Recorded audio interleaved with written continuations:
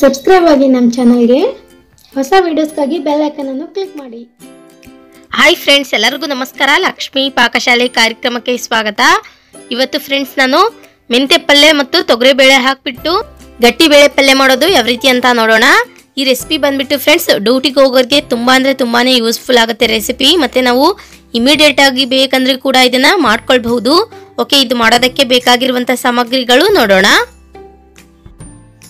ಮೊದಲನೇದಾಗಿ ಫ್ರೆಂಡ್ಸ್ ಇಲ್ಲಿ ನಾನು ಒಂದ್ ಕಟ್ಟಷ್ಟು ಮೆಂತೆ ಪಲ್ಯನ ಬಿಡಿಸ್ಬಿಟ್ಟಿಟ್ಕೊಂಡಿದ್ದೀನಿ ಮೆಂತೆ ಪಲ್ಯನ ಕೈಯಿಂದನೇ ಬಿಡಿಸ್ಬಿಟ್ಟಿಟ್ಕೊಳ್ಳಿ. ಕಟ್ ಮಾಡಕ್ಕೆ ಹೋಗ್ಬಾರ್ದು. ಕಟ್ ಮಾಡಿದ್ರೆ ಕಹಿ ಅಂಶ ಬರುತ್ತೆ ಸ್ವಲ್ಪ.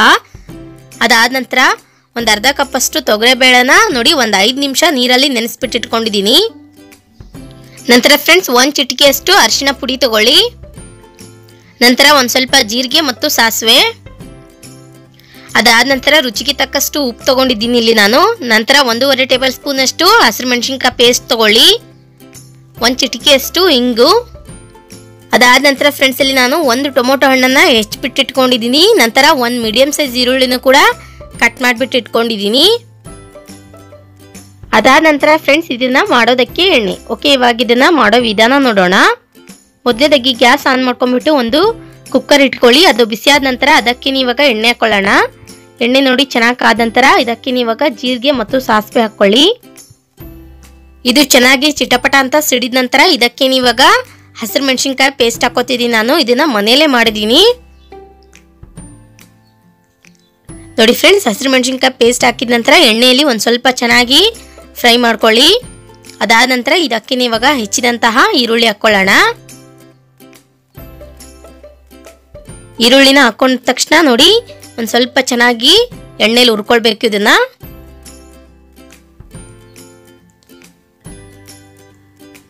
ಈ ತರ ಚೆನ್ನಾಗಿ ಫ್ರೈ ಮಾಡ್ಕೊಂಡ ನಂತರ ಇದಕ್ಕೆ ಇವಾಗ ಟೊಮೊಟೊ ಹಣ್ಣು ಹಾಕೊಳ್ಳೋಣ.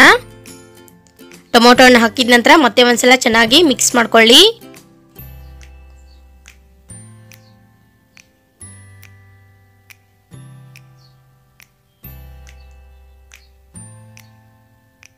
ಅದಾದ ನಂತರ ನೋಡಿ ಫ್ರೆಂಡ್ಸ್ ಇವಾಗ ಇದಕ್ಕೇನೆ ಅರಿಶಿಣ ಪುಡಿ ಹಾಕೊಳ್ಳಿ. ಮತ್ತೆ ಒಂದ್ಸಲ ಇದನ್ನ ಚೆನ್ನಾಗಿ ಮಿಕ್ಸ್ ಮಾಡ್ಕೊಳ್ಬೇಕು.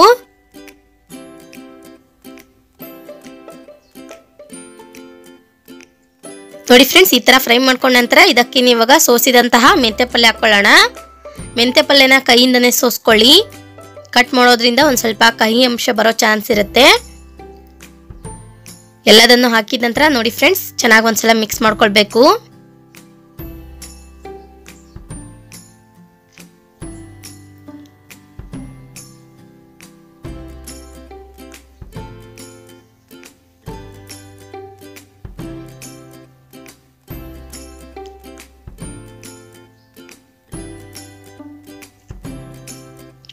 ಓಕೆ ನೋಡಿ ಇವಾಗ ಈ ತರ ಚೆನ್ನಾಗಿ ಮಿಕ್ಸ್ ಮಾಡ್ಕೊಂಡ ನಂತರ ಇದಕ್ಕೆ ಇವಾಗ ಒಂದು ಐದು ನಿಮಿಷ ನಾವು ನೀರಲ್ಲಿ ನೆನೆಸಿದಂತಹ ತೊಗರೆಬೇಳೆ ಹಾಕೊಳ್ಳೋಣ.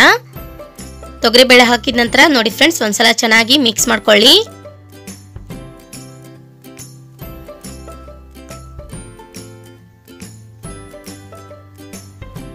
ನಾವು ನೆನೆಸ್ತೇ ಇದ್ರೂ ಕೂಡ ನಡೆಯುತ್ತೆ ಫ್ರೆಂಡ್ಸ್ ಇದನ್ನ ವಾಶ್ ಮಾಡ್ಕೊಂಡ್ಬಿಟ್ಟು ಯೂಸ್ ಮಾಡಿದ್ರು ಕೂಡ ನಡೆಯುತ್ತೆ ಇಮಿಡಿಯೇಟ್ ಆಗಿ ಆಗುತ್ತೆ ಪಲ್ಯ. ಓಕೆ ನೋಡಿ ಇವಾಗ ಈ ತರ ಚೆನ್ನಾಗಿ ಫ್ರೈ ಮಾಡ್ಕೊಂಡ ನಂತರ ಇದಕ್ಕೆ ಇವಾಗ ನೀರು ಹಾಕೊಳ್ಳೋಣ. ನೀರಿನ ಪ್ರಮಾಣ ಒಂದು ಸ್ವಲ್ಪ ಜಾಸ್ತಿ ಇರಲಿ ಫ್ರೆಂಡ್ಸ್ ಯಾಕಂದರೆ ಅದು ತೊಗರಿಬೇಳೆ ಚೆನ್ನಾಗಿ ಕುದಿಬೇಕು. ಸೊ ಅದಕ್ಕೋಸ್ಕರ ನೀರು ಚೆನ್ನಾಗಿ ಹಾಕ್ಕೊಳ್ಳಿ ನೋಡಿ, ಇವಾಗ ನೀರು ಹಾಕೊಂಡ ನಂತರ ಒಂದ್ಸಲ ಇದನ್ನ ಚೆನ್ನಾಗಿ ಮಿಕ್ಸ್ ಮಾಡ್ಕೊಳ್ಳೋಣ.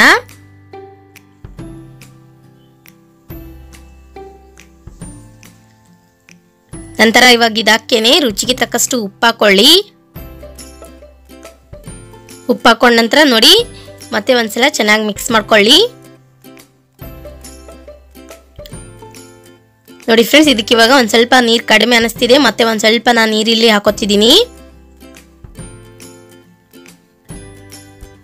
ಓಕೆ ನೋಡಿ ಫ್ರೆಂಡ್ಸ್ ಇವಾಗ ಇದನ್ನ ಮೇಲ್ಗಡೆ ಮುಚ್ಚಿಬಿಟ್ಟು ಒಂದು ತ್ರೀ ವಿಸಿಲ್ ಕೂಗಿಸ್ಕೊಳ್ಳೋಣ. ಓಕೆ ಇವಾಗ ತ್ರೀ ವಿಸಿಲ್ ಕಂಪ್ಲೀಟ್ ಆಗಿದೆ ಚೆಕ್ ಮಾಡ್ಕೊಳ್ಳೋಣ. ವಾವ್ ನೋಡಿ ಫ್ರೆಂಡ್ಸ್ ಇವಾಗ ಮೆಂತೆ ಪಲ್ಯ ಮತ್ತು ತೊಗರಿಬೇಳೆ ಚೆನ್ನಾಗಿ ಕುದ್ದಿದೆ ಇಲ್ಲಿ. ಇದನ್ನ ಒಂದ್ಸಲ ಚೆನ್ನಾಗಿ ಮಿಕ್ಸ್ ಮಾಡ್ಕೊಂಬಿಡಿ. ನಿಮಗೆ ಬೇಕಂದ್ರೆ ಫ್ರೆಂಡ್ಸ್ ನೀವು ಮೇಲ್ಗಡೆಯಿಂದ ಮತ್ತೆ ಒಂದ್ಸಲ ಒಗ್ಗರಣೆ ಹಾಕೊಳ್ಬಹುದು. ಓಕೆ ಇವಾಗ ನೋಡಿ ಫ್ರೆಂಡ್ಸ್ ತೊಗರಿಬೇಳೆ ಮತ್ತು ಮೆಂತೆ ಪಲ್ಯ ಹಾಕಿದ ಗಟ್ಟಿ ಬೇಳೆ ರೆಡಿಯಾಗಿ ಆಗಿದೆ ಇಲ್ಲಿ. ಇದನ್ನ ನೀವು ಬಿಸಿ ಬಿಸಿ ರೊಟ್ಟಿ ಜೊತೆಗೂ ತಿನ್ನಬಹುದು ಮತ್ತು ಬಿಸಿ ಬಿಸಿ ಅನ್ನ ಜೊತೆಗೂ ತಿನ್ನಬಹುದು ತುಂಬ ಚೆನ್ನಾಗಿರುತ್ತೆ ಟೇಸ್ಟು ಓಕೆ ನೋಡಿ ಫ್ರೆಂಡ್ಸ್ ಇವಾಗ ನಾನಿಲ್ಲಿ ಬಿಸಿ ರೊಟ್ಟಿ ಜೊತೆಗೆ ಸರ್ವ್ ಮಾಡ್ತಾ ಇದ್ದೀನಿ. ನೋಡಿದ್ರಲ್ಲ, ಯಾವ ರೀತಿಯಾಗಿ ನಾವು ಇನ್ಸ್ಟೆಂಟ್ ಆಗಿ ಗಟ್ಟಿ ಬೇಳೆನ ಮಾಡೋದಂತ? ನಾ ಮಾಡಿರೋ ಈ ರೆಸಿಪಿ ನಿಮಗೆ ಇಷ್ಟ ಆಗಿದ್ರೆ ಪ್ಲೀಸ್ ಲೈಕ್ ಮಾಡಿ ಶೇರ್ ಮಾಡಿ ಕಮೆಂಟ್ ಮಾಡಿ. ಇನ್ನಷ್ಟು ಈಸಿ ರೆಸಿಪೀಸ್ಗಾಗಿ ನಮ್ಮ ಲಕ್ಷ್ಮೀ ಪಾಕಶಾಲೆ ಚಾನಲ್ಗೆ ಸಬ್ಸ್ಕ್ರೈಬ್ ಆಗೋದು ಮಾತ್ರ ಮರಿಬಾರ್ದು. ಮತ್ತೆ ಒಂದು ಇಂಟ್ರೆಸ್ಟಿಂಗ್ ರೆಸಿಪಿ ಬರ್ತೀನಿ ಮುಂದಿನ ಸಂಚಿಕೆಯಲ್ಲಿ. Keep watching thank you bye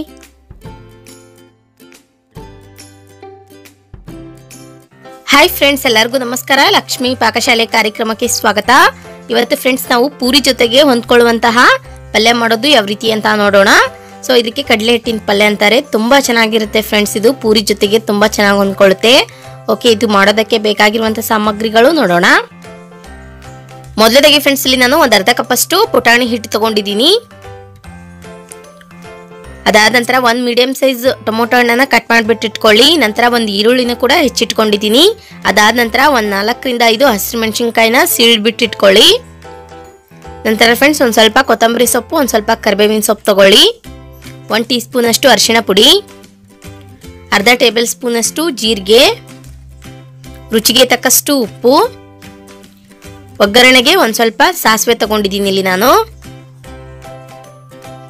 ನಂತರ ಫ್ರೆಂಡ್ಸ್ ಇದನ್ನ ಮಾಡೋದಕ್ಕೆ ಎಣ್ಣೆ. ಓಕೆ ಇವಾಗ ಇದನ್ನ ಮಾಡೋ ವಿಧಾನ ನೋಡೋಣ. ಮೊದಲನೇದಾಗಿ ಫ್ರೆಂಡ್ಸ್ ಒಂದು ಮಿಕ್ಸಿಂಗ್ ಬೌಲ್ ತಗೊಳ್ಳಿ. ಇದಕ್ಕೆ ಇವಾಗ ಕಡಲೆ ಹಿಟ್ಟು ಹಾಕೊಳ್ಳೋಣ. ಒಂದು ನಾಲ್ಕು ಟೇಬಲ್ ಸ್ಪೂನ್ ಅಷ್ಟು ಪುಟಾಣಿ ಹಿಟ್ಟು ಹಾಕೊಂಡ್ಬಿಡಿ. ಇದಕ್ಕೆ ಇವಾಗ ಒಂದು ಸ್ವಲ್ಪ ನೀರು ಸೇರಿಸ್ಬಿಟ್ಟು ಇದನ್ನ ಚೆನ್ನಾಗಿ ಮಿಕ್ಸ್ ಮಾಡ್ಕೊಳ್ಬೇಕು.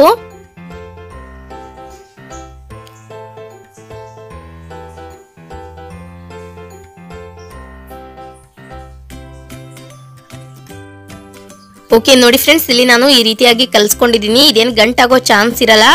ಸೊ ಆದಷ್ಟು ತಿಳುವಾಗಿ ಕಲಿಸ್ಕೊಂಡ್ರೆ ಪಲ್ಯ ಚೆನ್ನಾಗಿ ಬರುತ್ತೆ. ನಂತರ ಫ್ರೆಂಡ್ಸ್ ಗ್ಯಾಸ್ ಆನ್ ಮಾಡ್ಕೊಂಡ್ಬಿಟ್ಟು ಒಂದು ಪಾತ್ರೆ ಇಟ್ಕೊಳ್ಳಿ. ಅದು ಬಿಸಿ ಆದ ನಂತರ ಅದಕ್ಕೆ ಇವಾಗ ಎಣ್ಣೆ ಹಾಕಿದ್ದೀನಿ ನಾನು. ಎಣ್ಣೆ ಚೆನ್ನಾಗಿ ಆದ ನಂತರ ಸಾಸಿವೆ ಹಾಕೊಳ್ಳಿ. ಸಾಸಿವೆ ಚೆನ್ನಾಗಿ ಚಿಟಪಟ ಅಂತ ಸಿಡಿದ ನಂತರ ಜೀರಿಗೆ. ನಂತರ ಕರಿಬೇವಿನ ಸೊಪ್ಪು.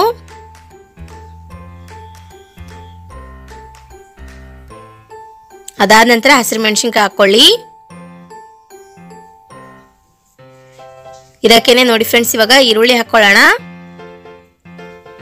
ಈರುಳ್ಳಿ ಹಾಕಿದ ನಂತರ ಇದನ್ನ ಒಂದ್ ಸ್ವಲ್ಪ ಚೆನ್ನಾಗಿ ಫ್ರೈ ಮಾಡ್ಕೊಳ್ಬೇಕು.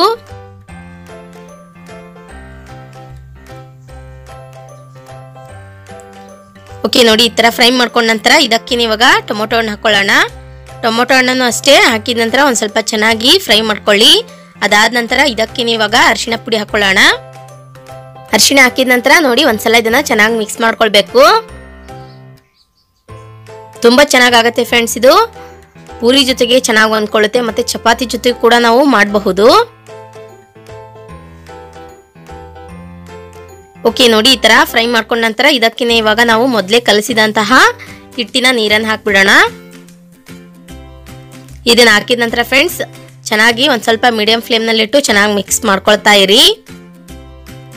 ನಂತರ ನೋಡಿ ಇದಕ್ಕೆ ನಿಮಗೆ ಎಕ್ಸ್ಟ್ರಾ ನೀರು ಬೇಕನ್ಸಿದ್ರೆ ನಾವು ಆ್ಯಡ್ ಮಾಡ್ಕೊಳ್ಬಹುದು. ಇದಕ್ಕೆ ನಾ ಇಲ್ಲಿ ಒಂದು ಸ್ವಲ್ಪ ನೀರು ಹಾಕ್ತಾ ಇದ್ದೀನಿ.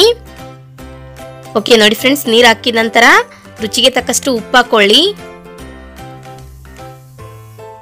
ಓಕೆ ಇದನ್ನ ನೋಡಿ ಇವಾಗ ಒಂದ್ಸಲ ಚೆನ್ನಾಗಿ ಮಿಕ್ಸ್ ಮಾಡ್ಕೊಳ್ಬೇಕು. ಇದು ಒಂದು ಸ್ವಲ್ಪ ಥಿಕ್ನೆಸ್ ಬರುತ್ತೆ, ಗಟ್ಟಿಯಾಗಿ. ಅದಕ್ಕೆ ಬರೋವರೆಗೂ ಒಂದು ಸ್ವಲ್ಪ ಚೆನ್ನಾಗಿ ಕೈ ಬಿಡದೆ ಮಿಕ್ಸ್ ಮಾಡ್ಕೊಳ್ತಾ ಇರಬೇಕು. ಓಕೆ ನೋಡಿ ಫ್ರೆಂಡ್ಸ್ ಇಲ್ಲಿ ಇವಾಗ ಒಂದು ಸ್ವಲ್ಪ ಇದು ಗಟ್ಟಿ ಆದಕ್ಕೆ ಬಂದಿದೆ. ಆದಷ್ಟು ಫ್ರೆಂಡ್ಸ್ ಇದು ನಾವು ಎಷ್ಟು ಕಡಿಮೆ ಹಿಟ್ಟು ಯೂಸ್ ಮಾಡ್ತೀವಿ, ಅಷ್ಟು ಚೆನ್ನಾಗಾಗುತ್ತೆ ಪಲ್ಯ. ಓಕೆ ನೋಡಿ ಇವಾಗ ಕೊನೆಯದಾಗಿ ಇದಕ್ಕೆ ಇವಾಗ ಕೊತ್ತಂಬರಿ ಸೊಪ್ಪು ಹಾಕೊಳ್ಳೋಣ. ನಂತರ ಫ್ರೆಂಡ್ಸ್ ಇದನ್ನ ಇವಾಗ ಮೇಲ್ಗಡೆ ಮುಚ್ಚಿಬಿಟ್ಟು ಒಂದು ಎರಡರಿಂದ ಮೂರು ನಿಮಿಷ ಬೇಯಿಸ್ಕೊಳ್ಳೋಣ. ಓಕೆ ಇವಾಗ ಒಂದು ತ್ರೀ ಮಿನಿಟ್ಸ್ ಕಂಪ್ಲೀಟ್ ಆಗಿದೆ ಚೆಕ್ ಮಾಡ್ಕೊಳ್ಳೋಣ. ಓಕೆ, ನೋಡಿ ಫ್ರೆಂಡ್ಸ್ ಇಲ್ಲಿ ಇವಾಗ ಪುರಿ ಅಥವಾ ಚಪಾತಿ ಜೊತೆಗೆ ಹಿಟ್ಟಿನ ಪಲ್ಯ ರೆಡಿಯಾಗಿ ಆಗಿದೆ ನೋಡಿದ್ರಲ್ಲ ಯಾವ ರೀತಿಯಾಗಿ ನಾವು ಪುಟಾಣಿ ಹಿಟ್ಟಿಂದ ಪಲ್ಯ ಮಾಡೋದಂತ? ನಾ ಮಾಡಿರೋ ಈ ರೆಸಿಪಿ ನಿಮಗೆ ಇಷ್ಟ ಆಗಿದ್ರೆ ಪ್ಲೀಸ್ ಲೈಕ್ ಮಾಡಿ ಶೇರ್ ಮಾಡಿ ಕಮೆಂಟ್ ಮಾಡಿ. ಇನ್ನಷ್ಟು ಈಸಿ ರೆಸಿಪೀಸ್ಗಾಗಿ ನಮ್ಮ ಲಕ್ಷ್ಮೀ ಪಾಕಶಾಲೆ ಚಾನಲ್ಗೆ ಸಬ್ಸ್ಕ್ರೈಬ್ ಆಗೋದು ಮಾತ್ರ ಮರಿಬಾರ್ದು. ಮತ್ತೆ ಒಂದು ಇಂಟ್ರೆಸ್ಟಿಂಗ್ ರೆಸಿಪಿಯೊಂದಿಗೆ ಬರ್ತೀನಿ ಮುಂದಿನ ಸಂಚಿಕೆಯಲ್ಲಿ. Keep watching thank you bye